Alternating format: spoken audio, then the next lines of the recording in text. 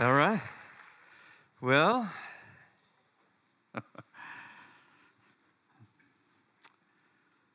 following Rose. I, I, just changed the message I was going to share with you. So if you uh, hear people talking about the first service, you say, "Wow, that doesn't sound at all like the one we got." It, it isn't. Yeah, I'm gonna. I really am. I'm gonna share a different message with you. Just I just feel like you know the language of the the Spirit. You you pay attention to that. You follow that, and as you do, you actually meet up with the Lord. You know, and I'm like Okay, well, there's absolutely no reason to miss him here. Uh, amen? Amen, yeah. Uh, you guys missed uh, the first service's temperature. It was like uh, going to a hockey game in here. It was old, so thank you for warming it up. Feels, uh, feels warmer. It's still cold. It's still cold. Nothing like first service first service was Arctic. It was like, I don't know, north of here. yeah. Yeah. Yeah. Somewhere. Um, this is the first time back in a while. First time since you guys have been like the. we call you the senior leaders, pastors, Your Highness. What do we call you? What do we call you? What do you call her? Ma'am? Yeah. Yeah. Yeah. Yeah. Awesome. So it's, uh, it's great to be here. Um, I'm, I'm going to skip this. That's, I'm going to skip that. I'm just going to tell you about this just real quick. Um, the Life Academy is, you know, a lot of what Jen was talking about. It's, it's our relationship, family, leadership culture, strength into any of those environments. And so if you're if you're uh, interested in growing in your the strength of your relationships, and by relationships I don't mean marriage necessarily or dating or that sort of thing, just your relationships. So if how many of you have a relationship with another human? Okay, that's what I'm talking about right there that kind of stuff, that, that connectedness right there, that's what we're after. We're after strengthening and, and making you successful in chasing fear away and bringing the kingdom, bringing love to your relationships. So that you're literally an ambassador of the kingdom. That's, that's wherever you are. So if that's at home or at work or wherever you are, that's, that's what we're doing here. We're chasing fear away with the way we manage our own interaction with fear and love. And then in the family, obviously, I mean, we should, we should be the safest place to grow up as a child is in our home. And so, one of our, our missions really is to uh, create a world where no child ever grows up afraid in their own home. Um, and then we have uh, business cultures. Which, how many of you are business leaders? And or you are uh, a leader in a business. Okay. Because different hands went up on that second one. I just want you to know. You're like, oh, that, that, was me. I wasn't the first one, but I was definitely that second one. That's exactly what I was waiting for that. Um, you know, there is an honor, there is a practice of honor, a culture of honor that, that we get to lead in that is not going on in a lot of places. A lot of places are very much led by a spirit of fear. And so, um, if you're at all interested in growing in these things, please check out the uh, LOP Life Academy. But if you're doing this sort of thing right here, which is uh, from a microphone, from the front, uh, you're, you're training, you're teaching, you're coaching, you are um, even preaching about it relationships, family strength, leadership cultures, if that's what you're doing, I'm looking for you. I'm looking to partner with you. I, I, I, look around at the, the voices that are, have been speaking to these issues through generations, and they're 70 and 80 years old now. And there's no successive momentum behind them to speak of. I don't think that's a great idea, and I am looking for ways to multiply myself as many times as I can before I get out of here. So, this is where I meet you. This is where I learn about who you are. This is where we get to spend some time together. So, if you're interested in either of those things, please check out the Loving on Purpose Life Academy. All right. What I want to talk to you about is the gift of discernment. And uh, as a, a, a gift, you know, I want us to realize that when you give somebody a gift, they're, they're happy to get it, right?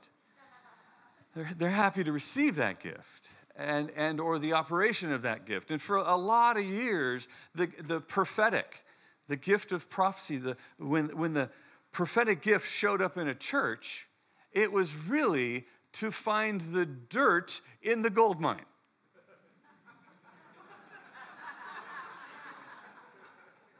Hear ye, hear ye, verily, verily, I say unto you.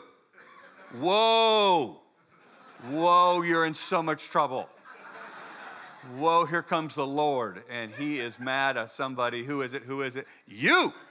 You stand up. I dare you. I dare you to stand up and be shamed publicly. And that was called a gift.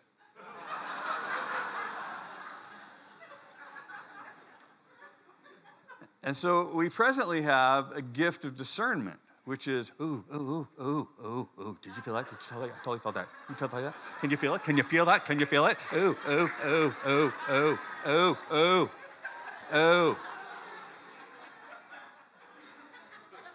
And I use my gift to discern what is evil about you.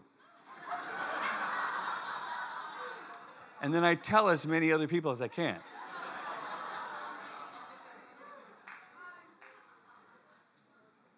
now you notice the transformation of the prophetic.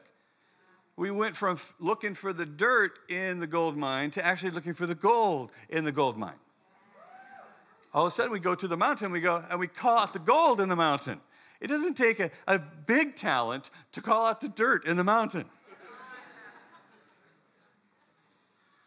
And likewise, when we use the gift of discernment, we have to understand what is the assignment here? What is it that, that is, is leading us, is motivating us in the exercising of this gift? What is it, what is it that I brought with me from heaven to earth that is a gift? What could it be? Well, I want, I want Paul to kind of introduce this to us. He's, uh, he's writing the Corinthians a letter, and um, well, actually, this is the Philippians one. Um, he's writing the Philippians a, a, a, a, note, and, and he's, he's saying, Here, Here's some things I want you to pay attention to in the, the, the exercising of discernment. I want you to actually, uh, I, want, I want to make sure that you are paying attention to how your love grows.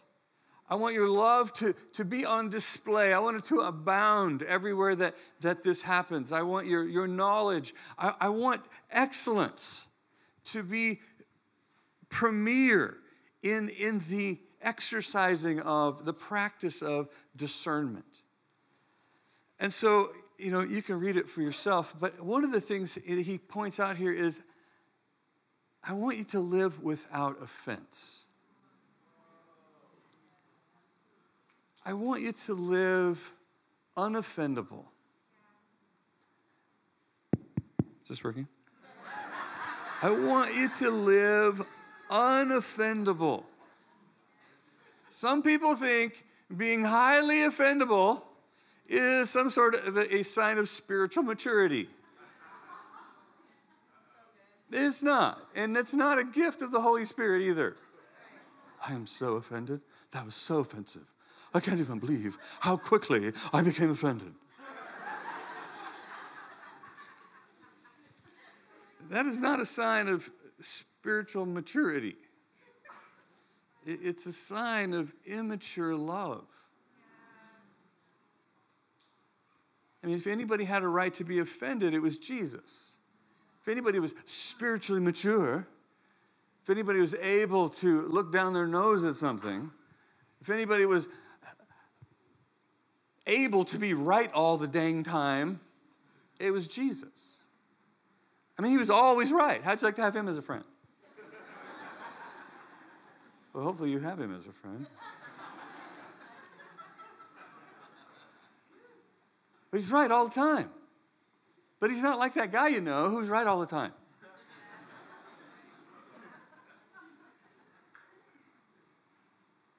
Why? Because he's mature in love. And love covers a multitude of other people being wrong.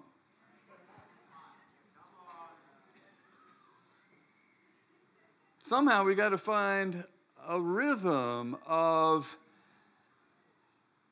interacting with people who are different than us. I mean, we just heard Rose up here telling us this. Somehow, I have to find a way to open my heart and live in love with people who are wrong. To honor people who are different. To actually build community with people that don't remind you of yourself. Because we tend to surround ourselves with ourselves. Like, oh, I, I, I, don't know what it is I love about. I love I you awesome. You, I love. Come, come, you, you remind me of somebody I love. Who is it? Who is it? Who is it? me. I love all the me in you. It is so easy to be with you. I mean, gosh, you're so smart, witty. It's like, it's like living in a hall of mirrors.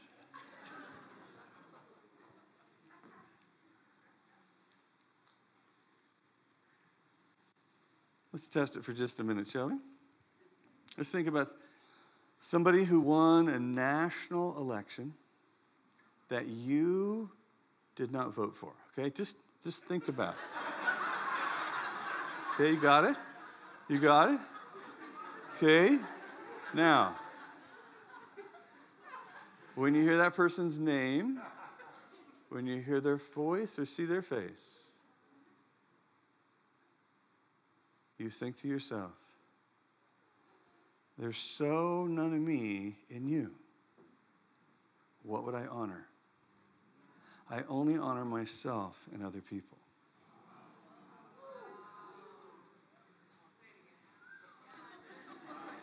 Don't you worry. Don't you worry. I'm going to say to this side over here now. We only honor ourselves and other people and that is mere mortal behavior. That is mere human behavior.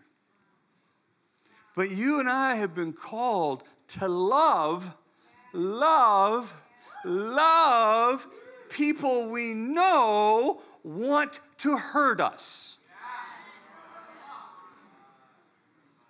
What kind of love is that? That's Jesus' love right there. That's what he's talking about. He's saying, love your enemies, honor all people, not just the ones who remind you of you. You can't just surround yourself with yourself and call it a church.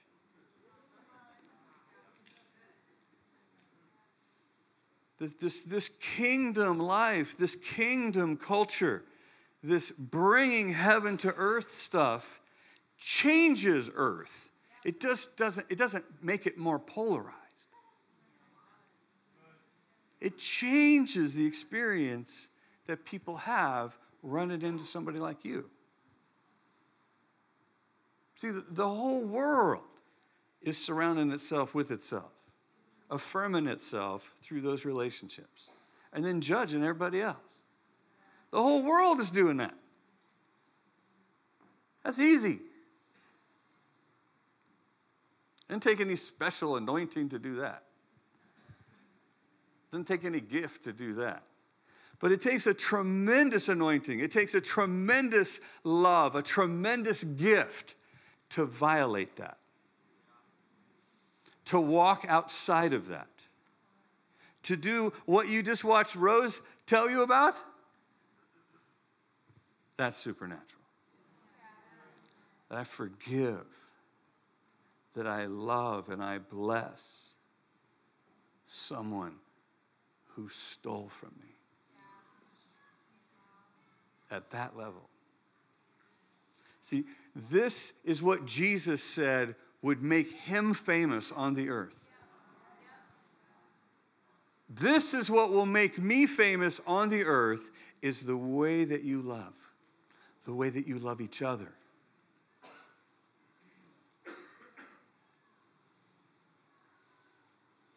Now, Paul writes to the Corinthians, and I think that when Paul wrote a letter to the Corinthians and they received it, smoke was coming out of it.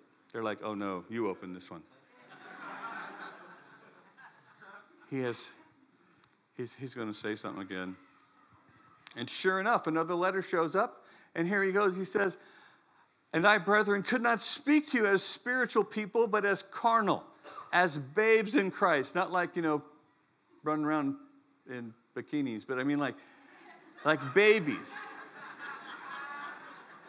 I could not talk to you as spiritual people, but as carnal.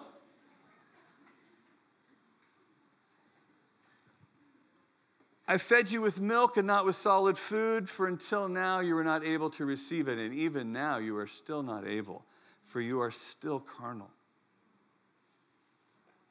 For where there is envy, strife, and divisions among you, are you not carnal and behaving like mere men. When there's envy, strife, and divisions among you, when you capitalize on differences, how you're not like me, I have no value for you. I have a collection of people who are like me, and these are mine. And I don't know what about you. Paul calls that carnal. Un, the inability to live as spiritual people. We are a spiritual house, living stones connected together. That's who we are. We are not Facebook. We are not social media. Or are we?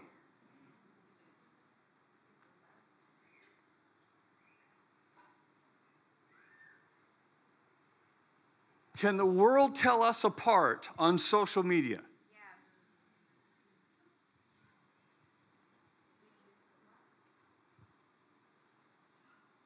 I don't know if you've ever been on a theological conversation on social media.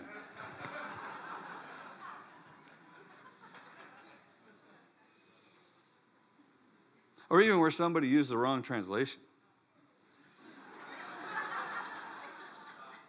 Good Lord. Carnal city. We act like a bunch of crazy people. Why?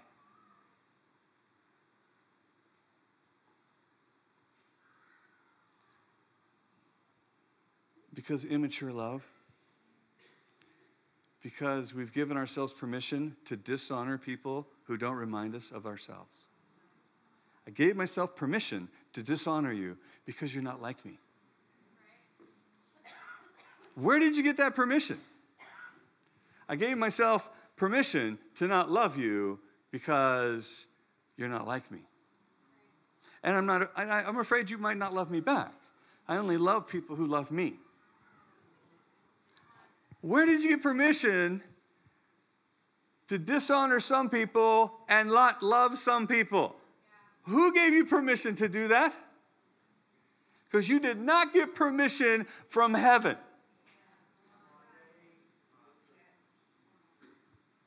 Jesus, the Father, Holy Spirit, did not give any of us permission to dishonor some and to hate some. Is this still working? These break down every once in a while. Paul is talking to the Corinthians and saying, hey, you, you can't divide up. As soon as you divide up, as soon as you create little groups, little categories amongst yourselves, you have become like this world, just mere mortals.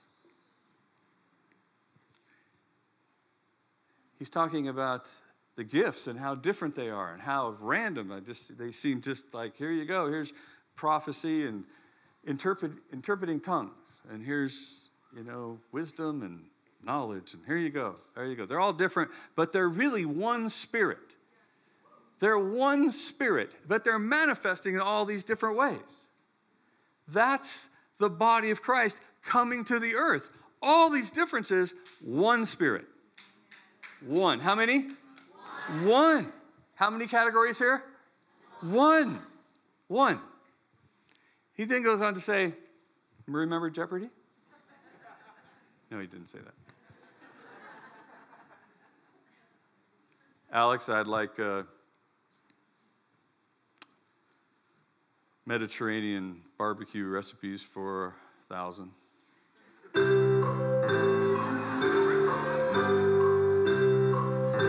That goes on way too long. it, was, it was all about taking the most random things and turning it into all these categories. And then you can divide it into little boxes, and then you can give value to different boxes. And that's the game of Jeopardy. The game of Jeopardy is taking society and busting it down into little boxes and making it way more than one. How many different categories are there? Well, geez, it's just endless. There's just an endless number of categories that we've now become pretty proud of making. We're pretty dang proud of our categories. Well, I'm of this kind of category.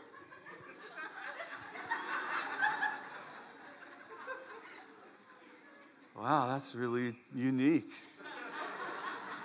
that you must be special. I am, because I do this. Oh, whoa, that's totally different. That's completely the other direction. Yeah, here's the here's the the problem.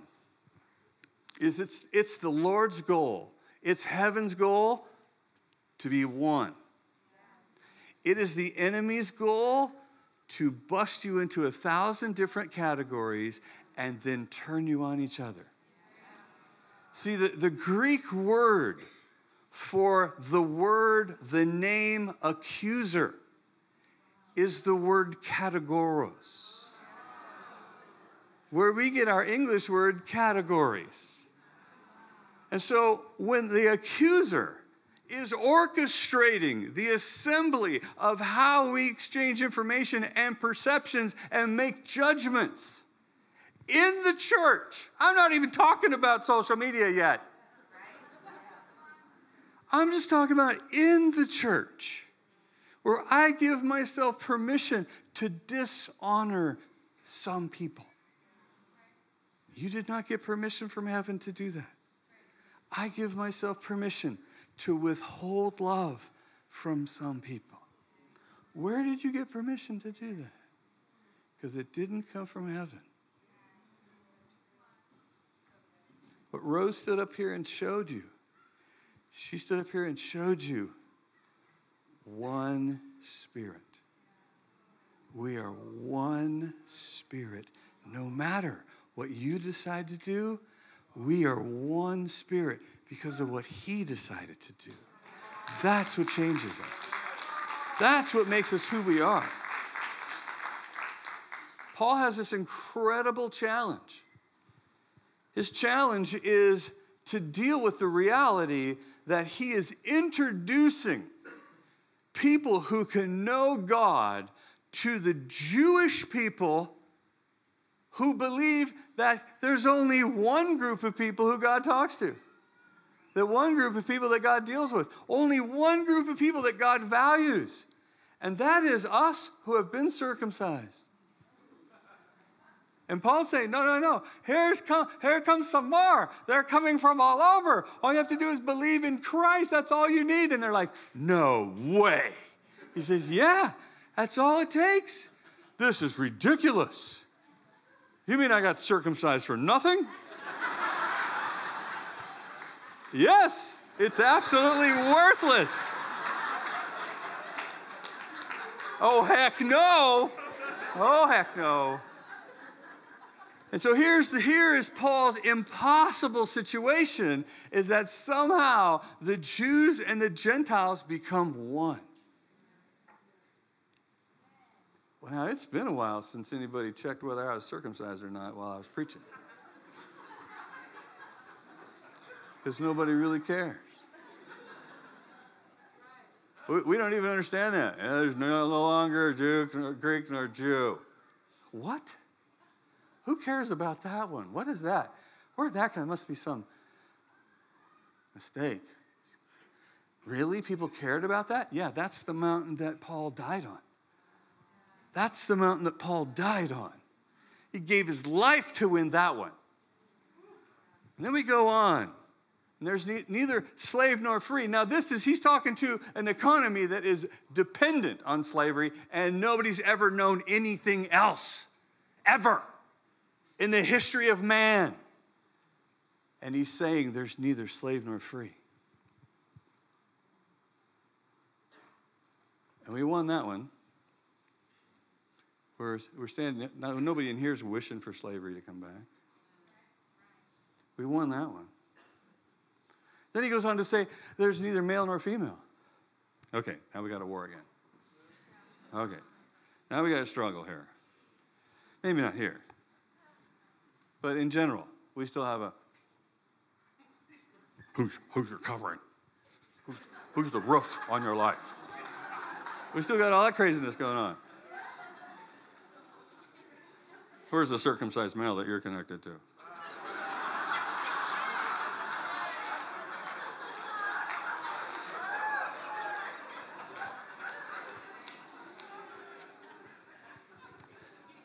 The wife over here just outed her husband.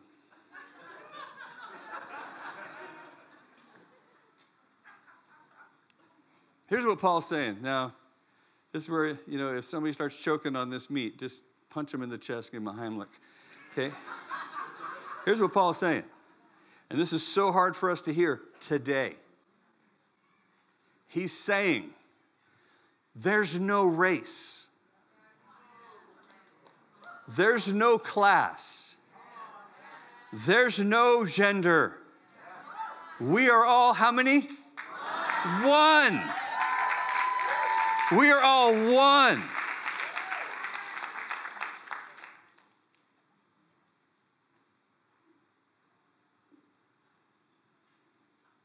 See, the devil is trying to scramble us into a bunch of small categories, so we have to politic to protect ourselves.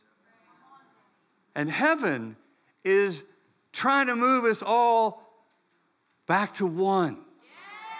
Back to one.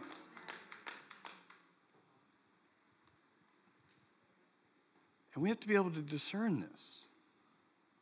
We have to be able to discern what is happening while we stand in a, in a, a culture that is at war, not just with each other, but in a war with heaven.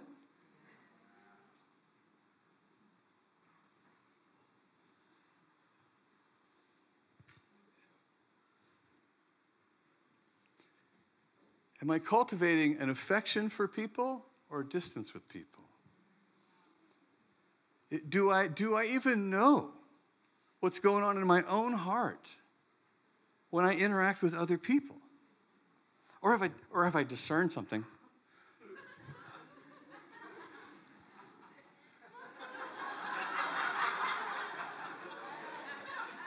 is, is my discernment working so that I can justify turning my love off? See, my discernment is not so I can tell what's wrong with you. The gift of discernment starts with what spirit is motivating me. What spirit is motivating me right now? Is it love or is it fear? See, this is a gift. Remember when Jesus is coming back, I think it's to, to Jerusalem, some city. They're coming back, and uh, James and John discover that, hey, you're not happy that Jesus is back. Where's the party? Where's the celebration? What's going on? How dare you diss our Jesus? You dissing our Jesus? Okay, okay, great, great. Jesus why don't you just hang out right there? You know what we're going to do?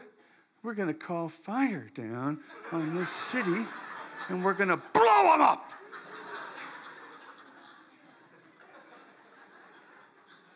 That'll get a little fear of the Lord back in this. And then people will know the love of God. do, do you see how confusing this stuff gets? We're doing this to ourselves. And, and Jesus looks at these two guys and he says, What? You're going to blow up a city in my name. you don't know the spirit that you are of.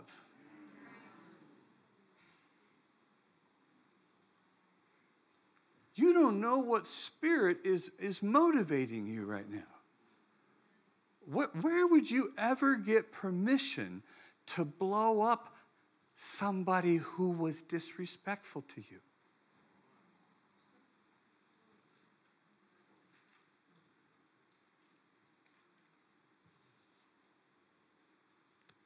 Mamma mia, he says. No. What is the spirit that I am of? What is it?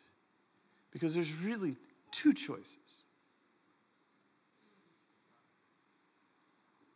There's two choices. This is why we live in a culture, we live in a society that is at war with Christ.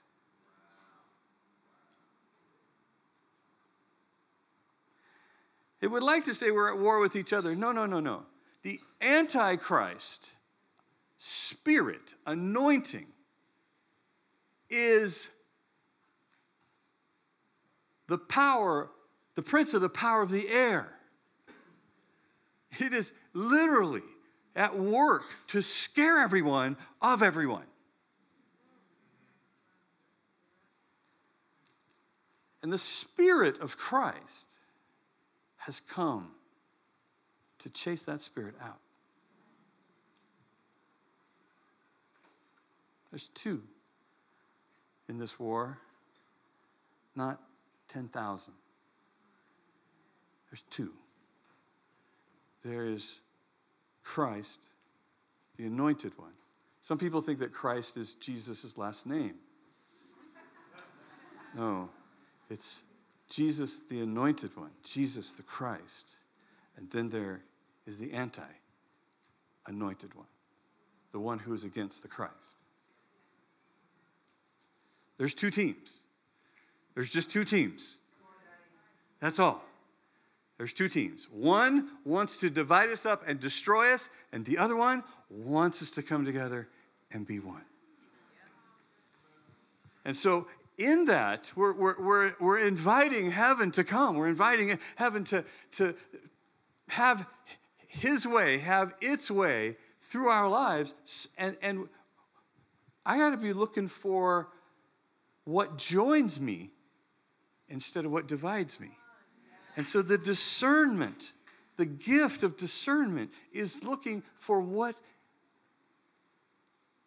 what gathers us to be one. Jesus prays, Father, I pray that they would be one as you and I are one.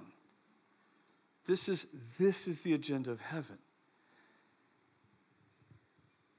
we're, not going to agree. We're not going to agree with each other. We're just not going to agree with each other, okay? We're not. And we can love each other like crazy. We can love each other like crazy and not agree. But only if there's a covenant holding us together. Only if there's a covenant making two one. We're not going to agree. How many of you are married? I rest my case. You're not going to agree. Unless you married yourself, which, which is the big shock. It's a huge shock. I can't believe you're not me. Oh, where did you come from?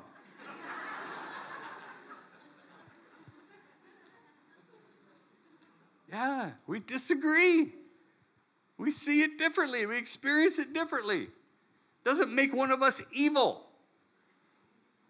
Well, it does, but then you get over that. We act like it does. How could you think that? How could you? How could you? I, I can't believe. Why aren't you me? This would be so much easier if you were just me. Well, you're not me. I'm not you. We're not each other. It's not going to happen. It's not going to happen.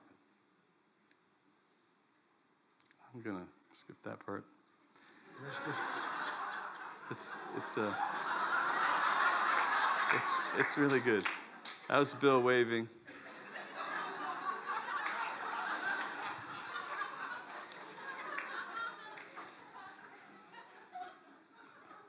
Discernment helps me understand the spirit that I am of. What is influencing me? What is motivating me? What is, what is driving the values of what I perceive? Am I, am I, am I driving to appreciate and to have affection for? Or have I judged and is my goal become distance? I mean, that works in a marriage and it works in any other relationship. That's why it's a gift. Do you know the spirit that you're of? Are you, are you flowing from the spirit of love? Are you flowing in the spirit of fear? We have to decide that. And, and the Holy Spirit is the great gift giver. James goes on to talk about, you know, how are we considering that things are, are wise that we're doing? Because when we have envy and strife and division, when we have bitter envy, self-seeking, when, when that, that, that, that wisdom is demonic.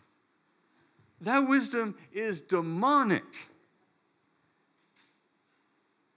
When I am operating in a way that justifies judging you, separating myself from you. That is demonic. He goes on to say that, that the wisdom from heaven has the fruit of peace all over it. And that's what we're cultivating, that's, that's what we're discerning for. That the excellence of the relationships that the kingdom creates in us are racked with peace. Where we find envy and strife and divisions among you, are you not acting carnal? Are you not just acting like mere men? Ladies, you get in on that too.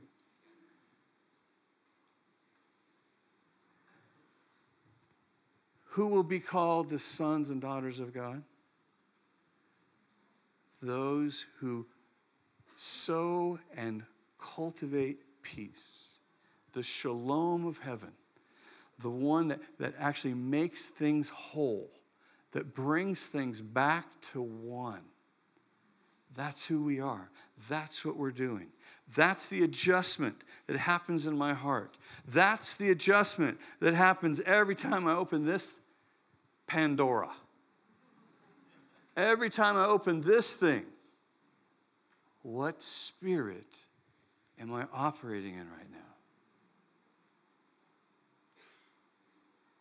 Amen? Amen. Let's all stand together.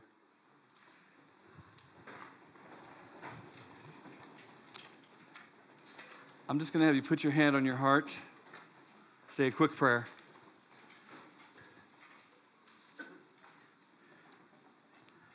Holy Spirit, I pray for a fresh release of the gift of discernment in this room. Lord, that we would be famous for our love one to another. That as we, as we go out of this place, Holy Spirit, I pray that you begin to help us see the Spirit of God at work and open our eyes to even what resistance to your spirit would be in the room. But we ask for heaven's strategies. We want to see what our daddy is doing in every circumstance, in every situation. Lord, we break our love affair with fear right now in the name of Jesus. We reject you. You are not my counselor. You are not my counselor. Be gone in the name of Jesus. Holy Spirit, come and tune our heart and our ear to your voice, that we would be giving you glory with our lives.